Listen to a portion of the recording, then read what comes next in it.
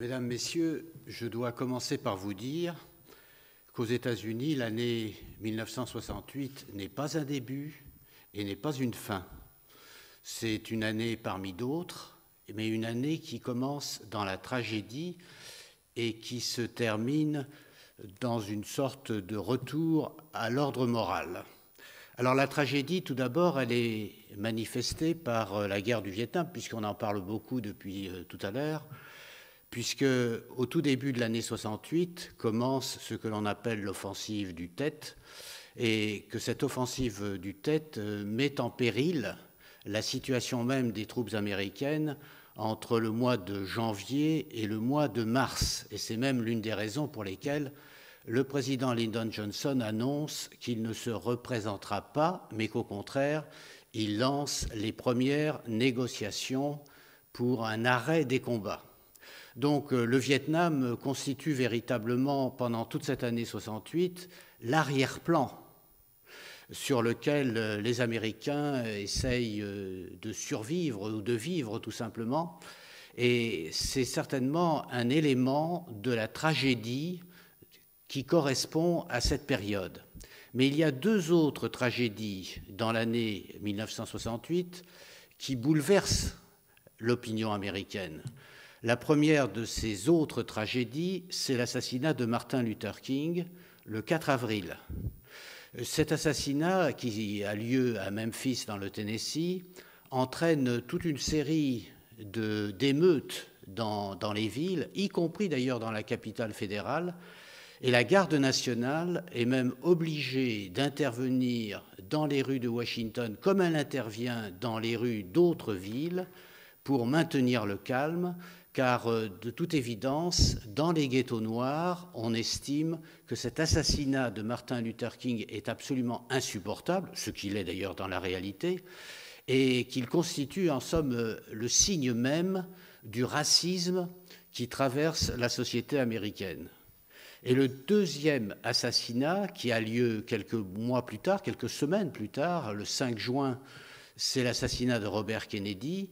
Et là encore, c'est un véritable traumatisme qui touche les Américains parce que Robert Kennedy, c'est euh, le mythe Kennedy, bien sûr, un mythe Kennedy qui n'est pas encore écorné, qui reste tout entier, avec euh, cette idée que euh, ça n'est pas possible que la présidence échappe à un Kennedy. Il faut qu'il y ait un Kennedy qui soit président, et celui qui était désigné après l'assassinat de John Kennedy, c'est naturellement son frère, le frère qui était le plus proche du président, et qui, euh, depuis 1964, est entré très très activement dans une campagne présidentielle, d'abord euh, en se faisant élire au Sénat et ensuite euh, en tâchant d'obtenir euh, l'appui de tous les démocrates. C'est d'ailleurs au terme de cette campagne des primaires démocrates que Robert Kennedy est assassiné en Californie le 5 juin et qu'il meurt dans la nuit du 5 au 6.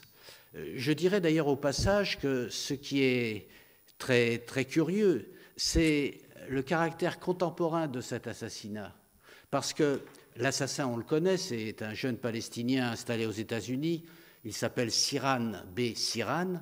Siran B. Siran a été condamné à mort et finalement à la perpétuité parce qu'à cette époque, il y avait un doute aux États-Unis sur euh, la légalité, sur la constitutionnalité de la peine de mort, ce qui veut dire que aujourd'hui encore, Siran B. Siran est en prison et n'a toujours pas obtenu évidemment l'autorisation de sortie, ce qui veut dire que euh, aujourd'hui, en 2018, nous nous sentons encore très directement mêlés à, cet assassinat de 1968, c'est-à-dire d'il y a 50 ans.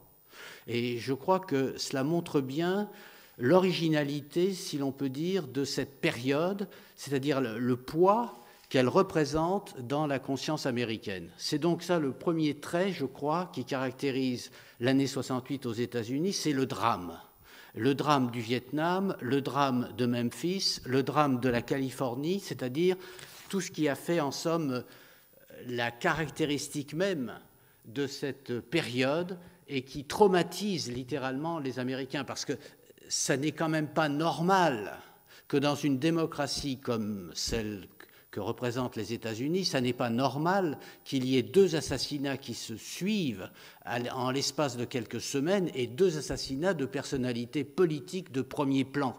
Il faut avoir vécu cette période pour bien comprendre ce qui frappe les Américains, ce qui constitue en somme un élément bouleversant de leur conscience et de leur vie quotidienne.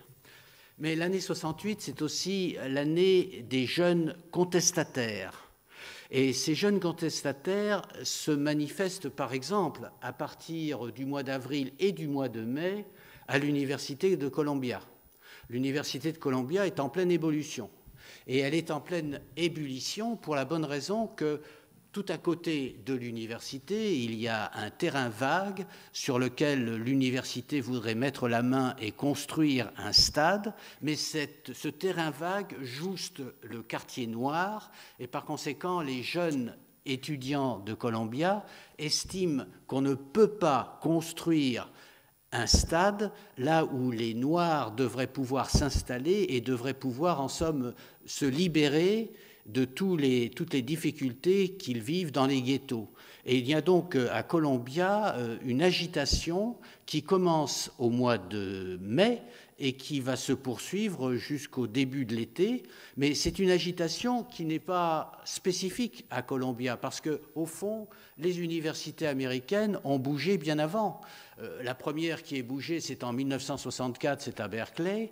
Et après Columbia, il y a eu d'autres universités qui, à leur tour, ont été euh, le théâtre de manifestations et parfois même de violences. Par exemple, en 1970, l'université de Kent State, dans l'Ohio, euh, a été le, lieu dans lequel des étudiants ont été tués par la garde nationale. Mais entre-temps, il y a une agitation qui se manifeste dans un certain nombre d'établissements universitaires, et tout cela en raison de la manière dont les étudiants voient les relations interraciales. Ils prennent parti, en somme, pour euh, le mouvement des droits civiques, alors que la très grande majorité des étudiants de Columbia sont des blancs, mais ça veut dire qu'il y a là la volonté de contester la société telle qu'elle est, de ne pas l'accepter, alors que dans les quelques années précédentes, en 1964, en 1965,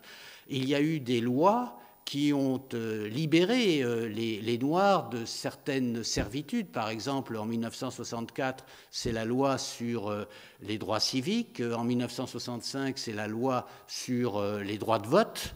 Tout cela, en somme, grâce au président Lyndon Johnson, il faut lui rendre hommage, hein, parce que dans l'historiographie, le président Lyndon Johnson euh, n'a pas une très bonne réputation. Il a eu l'inconvénient, si vous voulez, de succéder à John Kennedy. Mais euh, il n'empêche qu'il a fait passer au Congrès des lois que le président Kennedy n'était pas arrivé à faire passer.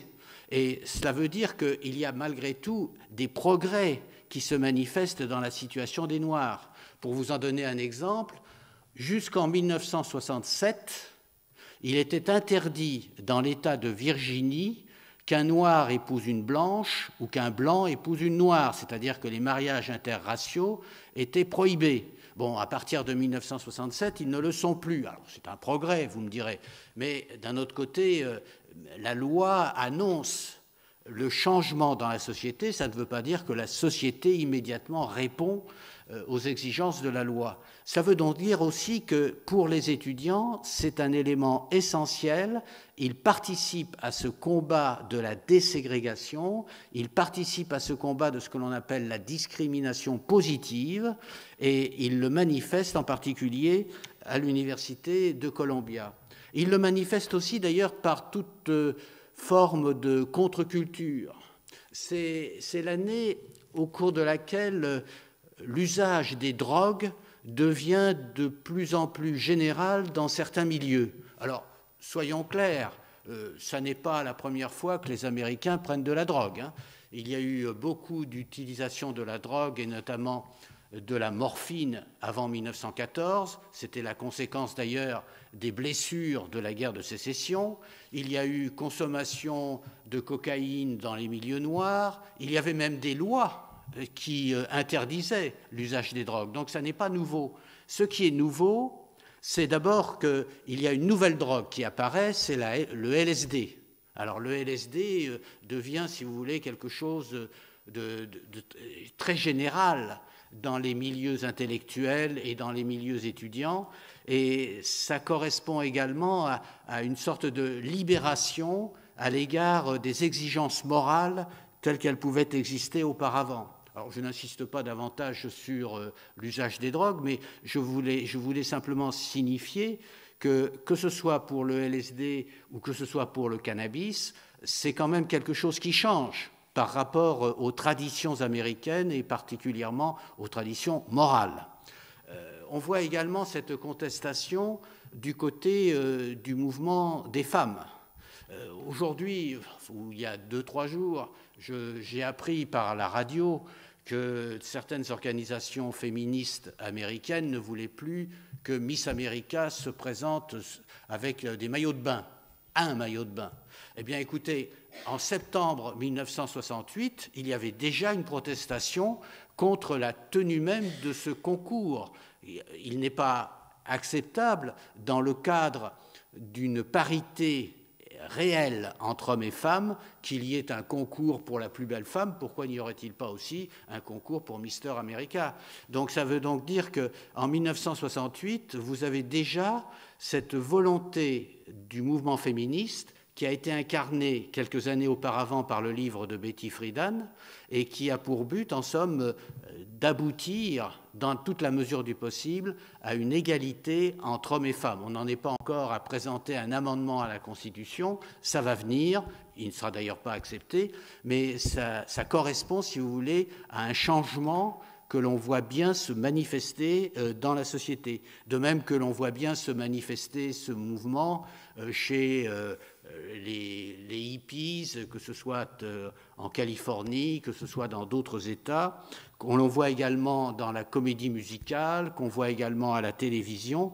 Et puis, les jeunes manifestent également leur volonté de, présence et d'activisme avec, au mois d'août, la réunion de la convention de démocrates à Chicago, c'est-à-dire qu'il y a là des manifestations extrêmement fortes en faveur de la démocratie telle qu'on l'entend du moins dans les universités et telle qu'on l'entend à la suite, encore une fois, de l'assassinat de Robert Kennedy, puisque Robert Kennedy aurait dû, en principe, être le candidat démocrate. Il ne l'est pas, et par conséquent, beaucoup de jeunes ou de moins jeunes vont manifester à Chicago pendant la convention démocrate contre le candidat officiel du Parti démocrate qui est Hubert Humphrey.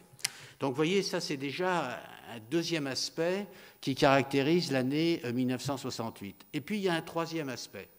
Et le troisième aspect est surprenant parce que après cette, euh, évolution euh, qui semble bouleverser complètement la société américaine, il y a un retour, une sorte de reflux et ce reflux, euh, si je peux dire, il est, symbolisé par, un événement euh, que beaucoup d'entre nous ont oublié, mais qui est très important pour l'année 68.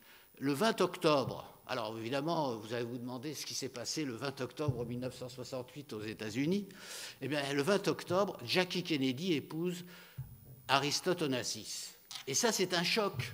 C'est un choc parce que c'est allé à l'encontre même du mythe Kennedy. Ça veut dire que Jacqueline, Jackie, qui a été euh, l'emblème, à tort ou à raison, du, mythe Kennedy, euh, Jackie Kennedy accepte d'aller avec un armateur grec qui a certes beaucoup d'argent, mais qui a certes aussi beaucoup d'années derrière lui. C'est le contraire même de l'idée qu'on pouvait se faire du mythe Kennedy. Ça se passe le 20 octobre. Vous voyez, c'est quelque chose qui est tout à fait contraire à ce que j'annonçais tout à l'heure dans une sorte de renouvellement de la société américaine. Et puis alors, ce qui est tout à fait contraire aussi à ce que l'on pourrait imaginer, c'est que les élections présidentielles ont lieu en novembre 1968. Et qui est élu en novembre 1968 C'est Richard Nixon. Et Richard Nixon est élu alors que c'est même le seul cas dans l'histoire des États-Unis où il avait été battu en 1960, c'est-à-dire huit années auparavant. Ça veut donc dire qu'il a pris sa revanche. Il a pris sa revanche, mais Que représente Richard Nixon Richard Nixon, c'est le conservatisme. C'est un républicain. Euh, être républicain ne signifie pas nécessairement être conservateur, surtout à cette époque. Mais cela veut dire malgré tout que c'est un retour en arrière, c'est une sorte de, comment dire, de signe particulièrement fort qu'il y a un reflux dans la société américaine. Et si Richard Nixon est élu, c'est précisément parce qu'il a battu son rival démocrate qui est, comme je vous l'ai dit tout à l'heure, Hubert Humphrey, le, vice-président de Lyndon Johnson, mais c'est aussi parce qu'il y avait un troisième candidat. Et ce troisième candidat, George Wallace, ancien gouverneur de l'Alabama, a fait 13% des suffrages, c'est-à-dire qu'il a pris en partie des électeurs à Hubert Humphrey, c'est-à-dire qu'à cette époque-là, dans le sud des États-Unis, on votait surtout démocrate, ce qui veut donc dire que les démocrates du sud ont préféré voter pour George Wallace. Et quel est le programme de George Wallace? Le programme de George Wallace, il l'a exprimé quelques années auparavant, en 1963. C'est très facile à retenir. Il a dit ségrégation aujourd'hui, ségrégation hier, ségrégation demain. Voilà, c'est son programme. Ça veut donc dire que George Wallace incarne l'esprit euh, qui va à l'encontre même de tout ce que j'ai présenté jusqu'à maintenant, c'est-à-dire c'est un c'est même pas un retour en arrière, c'est pire que ça, c'est-à-dire que c'est la volonté en somme de maintenir la société américaine dans, le carcan du racisme. Et euh, George Wallace ajoute à cela euh, la présence de son candidat à la vice-présidence, qui est le général Lee May. Et le général Lee May, c'est, euh, si je peux traduire en français, c'est le général Boom Boom. C'est-à-dire qu'au fond, pour la guerre du Vietnam, il avait une idée très simple, c'est qu'on bombardait complètement le Vietnam, comme ça on réglait le problème. Mais alors, il est évident qu'avec un vice-président qui a une telle attitude sur le Vietnam et un président qui a une attitude euh, très contestable sur les relations sociales, les États-Unis euh, seraient allés directement dans le mur. Mais avec 13% des voix, cela veut dire malgré tout qu'une partie importante de la société américaine les suive, qu'une partie importante de la société américaine ne veut pas précisément de ces changements euh, qui sont manifestés par la contre-culture, qu'elle veut le retour à l'ordre, qu'elle veut le retour à la morale, qu'elle veut le retour à une sorte de durcissement de la société. C'est cela, en somme, qui caractérise la fin de l'année 1968. Mais, et je terminerai par là, il y a malgré tout un événement qui, lui, se produit le 24 décembre. C'est la veille de la Noël, mais ce n'est pas, pas ça l'événement.